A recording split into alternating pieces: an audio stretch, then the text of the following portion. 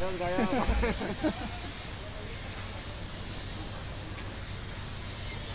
चल भाऊ